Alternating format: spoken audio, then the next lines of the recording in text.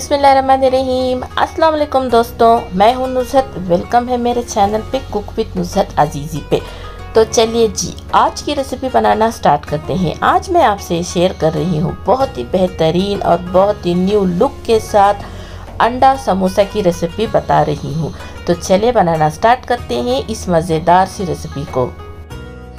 तो समोसा बनाने के लिए सबसे पहले इसका आटा गूंद लेते हैं। इसके लिए ले रही हूँ मेज़रमेंट कप से दो कप मैदा ले रही हूँ और आधा कप जो है घी ले रही हूँ।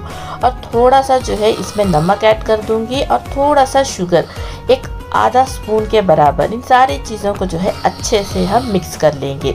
हाथों में जो है मुट्ठी बना के देखिएगा, घी अगर अच्छे से जमा है तो मुट्ठी बन जाएगा। अगर घी की मकदार कम है तो आप इसमें और थोड़ा सा घी ऐड कर लीजिएगा। लेकिन मुझे जो है दो कप आटे में आधा घी जो है परफेक्ट लगा। ये मेज़रमेंट परफेक्ट है। अब जो है इसमें थोड़ा थोड़ा पानी ऐड करके आप इसका जो है सख्त आटा गूंद लीजिएगा। देखिए, आटा मैंने गूंद लिया है। अब ऊपर से थोड़ा सा घी अप्लाई करके अच्छे से जो है इसे लगा लूँगी ताकि ऊपर का लेयर सूख ना जाए। अब जो है इसे एक घंटे के लिए हम रेस्ट में रख देंगे। तब तक जो है हम इसकी स्टफिंग तैयार कर लेते हैं। और स्टफिंग के लिए देखिए मैंने आलू को जो है बॉईल कर लिया है। ये जो है हाफ़ के जी आलू है। इसे जो है हाथों से अच्छे से मैश कर लेंगे। इसी तरह से एक कप मटर के दानों को जो है मैंने हल्का सा इसे गला लिया है। अब चलिए हम जो है स्टफिंग बनाना स्टार्ट करते हैं। तो यहाँ पे मैंने पैन को गरम कर लिया है। इसमें ऐड कर रही हूँ टू टीस्पून तेल और चार प्याज ऐड कर रही हूँ। प्याज को जो है मैंने बारीक चॉप कर लिया है। तेल भी जो है स्टफिंग में थोड़ा ही ऐड कीजिएगा। हमेशा जो है स्टफिंग में तेल बढ़कर मत ऐड कीजिएगा। हल्का सा जब प्याज का कलर चेंज हो जाएगा, इसमें ऐड कर रही हूँ जिंजर और गार्लिक का पेस्ट वन टेबल स्पून यानी कि अदरक लहसुन का पेस्ट ऐड कर रही हूँ। इसे भी जो है हल्का सा भून लेंगे। जब अच्छे से ये भुन जाएगा, इसमें ऐड कर रही हूँ हाफ़ टी स्पून हल्दी powder half teaspoon garam masala powder one and half teaspoon जो है लाल मिर्च का पाउडर ले रही हूँ और ये मटर के दाने जिसे हमने बॉईल किया है। फ्लेम जो है हाई रख रही हूँ। हाई फ्लेम पे ही जो है अच्छे से मिक्स करते हुए और इसी स्पैचुला से या किसी भी मैशर से जो है आप इसे मैच भी करते जाइएगा। जैसे जैसे ये कुक होते जाएगा, हम इसे मैच भी करते जाएँगे। आप चाहे तो मटर के दानों को अलग से भी मैश करके आप इसमें मिला सकते हैं। बहुत बारीक मत पीसिएगा। इस तरह से जो है मैशर से ही मैश कीजिएगा। अब मैं इसमें ऐड कर रही हूँ थोड़ा सा नमक। नमक टेस्ट के अकॉर्डिंग ऐड कर लीजिएगा। जब ये अच्छे से भुन जाएगा। इसमें ऐड कर रही हूँ ये आलू जिसे हमने हाथों से मैश करके रखा था। इसे भी जो है अच्छे से इस मसाले में मिक्स कर लेंगे। इसमें जो है आपको एक बात का ख्याल रखिए कि इसमें पानी का इस्तेमाल बिल्कुल भी नहीं करना। ये जो है इतना ड्राई होना चाहिए। देखिए, अब मैं इसमें लास्ट में ऐड कर रही हूँ, बारीक कटा हुआ हरा धनिया। अब हमारा स्टफिंग बन के तैयार है। इसे किसी भी प्लेट में निकाल लेते इस तरह से देखिए, मैंने छः अंडों को जो है बॉईल कर लिया है और दो हिस्सों पे इसे डिवाइड कर लिया है। और ये जो आलू का मिक्सचर हमने बनाया है ना वो भी पूरी तरह से ठंडा हो गया है। एक बॉल के साइज़ के हिसाब से जो है हम आलू का स्टफिंग लेंगे। ऊपर इस तरह से जो है अंडे पे कोट करेंगे। देखिए, इस तरह से दोनों तरफ़, दोनों साइड पे जो है बीच में अंडा रहना चाहिए। इसे जो है अच्छे से अंडे को हम छुपा देंगे। चारों तरफ़ जो है ये आलू का बैटर हम अच्छे से अप्लाई कर लेंगे। जहाँ जहाँ लगे आपको ये आलू का मिक्सचर कम है, वहाँ रख के आप इसे जो है अंडों को कवर करते जाइएगा, देखिए। और शेप भी जो है अंडे का ही देते जाइएगा, देखिए। अंडे का शेप परफेक्ट आ गया है, लेकिन इसमें जो है अंडा आधा ही है। लेकिन ऐसा लग रहा है कि जैसा सारा अंडा हो, यानी कि फुल अंडा हो। लेकिन इसमें हमने हाफ़ अंडा ही बॉईल करके ऐड किया है। तो इसी तरह से सारे अंडों को जो है आलू से हम अच्छे से कवर कर लेंगे। अब यहाँ पे देखिए मेरे पास दो कप मैदा है, इसमें ऐड कर रही हूँ थोड़ा सा पानी थोड़ा थोड़ा पानी ऐड करके हम एक जो है, एक पतला सा स्लरी बना लेंगे। ना ये बहुत पतला है, ना ही ये बहुत ठीक है। तो इस तरह से यहाँ पे देखिए मेरे पास ब्रेड क्रम है। इस पर मैंने थोड़े से सेवियाँ भी ऐड किया है। आप चाहे तो सिर्फ़ ब्रेड क्रम का भी इस्तेमाल कर सकते हैं। आटा भी देखिए अच्छे से सेट हो गया है। तो हमारा सारा प्रोसीजर डन है।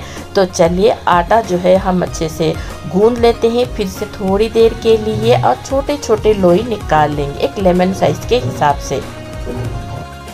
इस दो कप आटे पे मुझे जो है बारह समोसा जो है बन के तैयार मिले हैं। और अंडे भी मैंने छः ही लिया है। छः को मैंने दो हिस्सों पे डिवाइड किया तो बारह हुए। अगर आप ज़्यादा क्वांटिटी पे बनाना चाहते हैं ना तो इस आटे को जो है आप डबल कर लीजिएगा। तो आपको जो है ज़्यादा क्वांटिटी पे मिल जाएगा। अब देखिए, इस एक पेड़े को लेके हम बेल लेंगे। ना ये बहुत पतला होना चाहिए और ना ही ये बहुत बारीक होना चाहिए। जिस तरह से हम चपाती बेलते हैं ना सेम इसी तरह से आप बेल लीजिएगा। शेप अगर आगे पीछे हो तो कोई बात नहीं, क्योंकि हम इसे कट ही करने वाले हैं। देखिए, इस तरह से एक डब्बे का लिट लेके मैं इसे कट कर लूँगी। इससे क्या होगा शेप जो है अच्छे से गोल आ जाएगा। साइड्स की एडजस्ट को भी फिर से हम बेल लेंगे। बीच में जो है मैं इस तरह से कट लगाऊँगी। और फिर आलू, ये अंडे का जो स्टफिंग है ना, बीच में इस तरह से रख के इसे हम गोल घुमाते जाएँगे। देखिए, इस तरह से गोल घुमाते हुए आप इसे कवर करते जाइएगा इस चपाती के लेयर को। फिर इस तरह हाथों पे रख के अच्छे से शेप दीजिएगा। नीचे जो है थोड़ा सा प्रेस भी करते जाइएगा और इसके जो एडजस्ट है ना लास्ट के, उसे थोड़ा सा आप इसे रोल कर लीजिएगा। उससे लुक बहुत अच्छा आएगा। फिर बीच में जो है नीचे रख के बीच का हिस्सा भी अच्छे से इसे प्रेस कर लीजिएगा। देखिए, इस तरह से बहुत ही आसान है। देखने में आपको मुश्किल लगेगा। जब आप इसे एक बार बनाएँगे ना, आपको ये बहुत आसान लगेगा। बहुत कम टाइम पे जो है आप समोसा बना के तैयार कर सकते हैं। फिर से मैं आपको एक बार बताती हूँ ताकि आपको बनाने में आसान लगे। स्टफिंग को बीच में रख के आप इसे रोल करते जाइएगा। बहुत ही सिंपल है, आसान है। जब आप इसे बनाएँगे ना तो आपको यकीन आएगा कि ये इतना सिंपल है। देखने में बहुत ही डिफरेंट है। और हाँ इसमें जो है, बीच का जो एडजस्ट है ना लास्ट वाला जो एज है, उसे थोड़ा सा आप इस तरह से रोल कर लीजिएगा। उससे जो है लुक बहुत अच्छा आएगा। और बीच में जो है नीचे रख के आप इसे सील कर लीजिएगा। देखिए, इस तरह से अच्छे से सारे समोसा बन के तैयार है।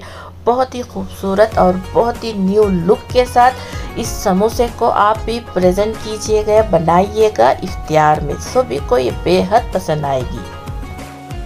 समोसा तो हमने बना लिया है। इसके बेस को कवर करने के लिए पहले आप इस आटे का पेस्ट जो हमने गोल बनाया है उसमें डिप करके फिर जो है फ़ौरन जो है आप इस ब्रेड क्रम पे जो है ऊपर रख दीजिएगा। देखिए, इस तरह से। इससे क्या होगा? स्टफिंग जो हमने बीच में रखा है ना, वो भी अच्छे से क्लोज हो जाएगा। जब आप फ्राई करेंगे ना तो स्टफिंग बाहर भी नहीं आएगा। आप चाहे तो सिर्फ़ ब्रेड क्रम का भी इस्तेमाल कर सकते हैं, या सेवियों का भी इस्तेमाल कर सकते हैं, या सिर्फ़ हमने जो ये आटा का घोल बनाया है ना, मैदे का, उससे भी आप फ्राई कर सकते हैं। इसे जो है उलट पलट करते हुए आप तेल में अच्छे से फ्राई कर लीजिएगा। लेकिन मीडियम टू लो फ्लेम पे ही आप इसे फ्राई कीजिएगा, तभी जो है परफेक्ट कलर आएगा। फ्लेम अगर आप हाई रख के फ्राई करेंगे ना तो इसमें जो है बबल्स दाने बन जाएँगे। लुक अच्छा नहीं आएगा। तो इस तरह करके जो है मैंने सारे समोसा जो है बना लिया है। देखिए, बहुत ही खूबसूरत, बहुत ही यूनिक सी है। और इसे गार्निश कर रही हूँ हरा धनिया के साथ और एंजॉय कीजिएगा केचप के साथ या म्योनीस के साथ। बहुत ही बेहतरीन और बहुत ही मज़ेदार सी रेसिपी है। मैं आपको जो है इसे कट करके भी बताती हूँ। ये कितना क्रिस्पी अंदर से स्टफिंग भी देखिए वाव कितना परफेक्ट बना है। ऊपर का स्ट्रक्चर जो है अच्छे से क्रिस्पी है, अंदर से जो है उतना ही सॉफ्ट है। केचप के साथ इसे डिप करके एंजॉय कीजिएगा इस मज़ेदार सी एक समोसे को। तो चलिए जी, मुझे दीजिएगा इजाज़त। अब मैं इस वीडियो को यहीं पे एंड करती हूँ। टिल देन अल्लाह निगेबान